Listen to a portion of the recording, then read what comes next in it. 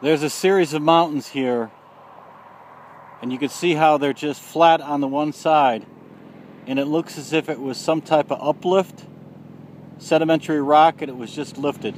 There's one mountain further beyond the one, the last one we're looking at, and it's just amazing to see these things from a distance. They're all lined up perfectly, as if it was some flat plane and it just lifted and broke them. And that's what we're looking at right there. That used to be some flat surface. And they go on for 10, 12, 13, 15 miles, or 20, maybe 30, I don't know. It's really cool.